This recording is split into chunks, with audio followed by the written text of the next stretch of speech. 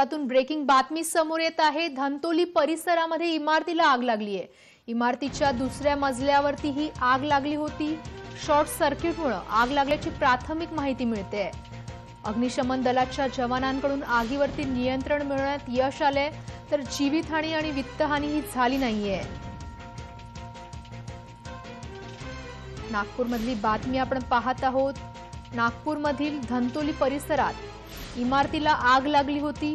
इमारतीच्या दुसऱ्या मजल्यावरती ही आग लागली होती.